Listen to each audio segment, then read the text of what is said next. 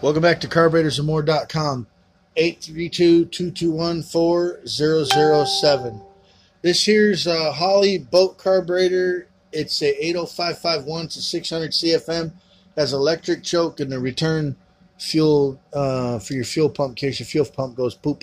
It uh, return line goes in here so that it doesn't shoot gas all over your boat and send your boat to Davy Jones locker.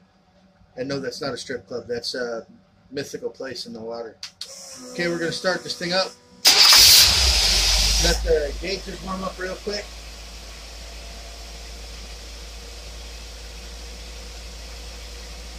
What we're going to do is uh, the typical test.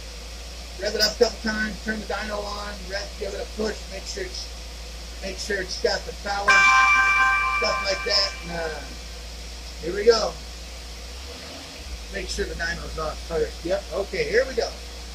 One, two, twelve.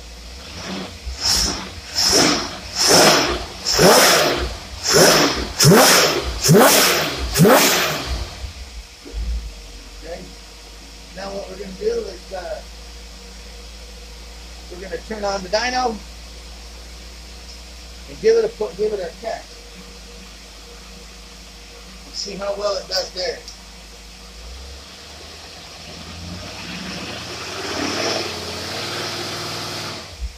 Woo! Got some power.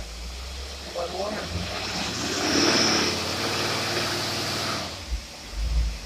Yep.